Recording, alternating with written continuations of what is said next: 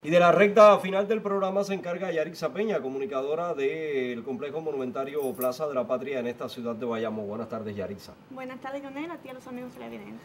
Bueno, ¿qué actividades ha organizado la Plaza de la Patria para los días que restan a esta semana?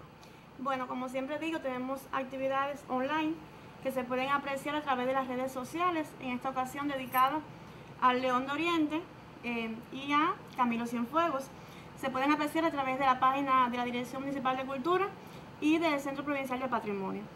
Tenemos el espacio fijo también, Reparador de Sueños, que será el viernes a las 3 de la tarde.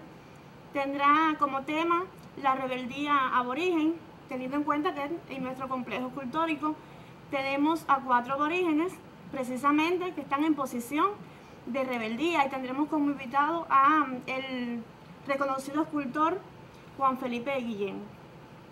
Entonces también queremos invitar eh, a todos los que nos ven a través de nuestro espacio, invitar a la exposición Leales a Martí, dedicada precisamente al 169 aniversario del natalicio de nuestro apóstol nacional. Estamos mirando algunas imágenes que forman parte de esta exposición Leales a Martí y que se encuentra abierta al público en la Plaza de la Patria de la ciudad Monumento Nacional. Un homenaje a Martí desde la mirada de Eusebio Leal. Eusebio Leal.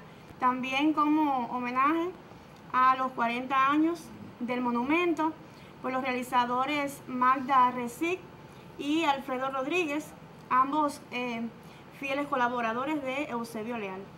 Qué bueno, gracias Yarixa por haber estado con nosotros. Éxitos en todas estas actividades. ¿En qué horario está abierto al público la exposición Leales a Martí?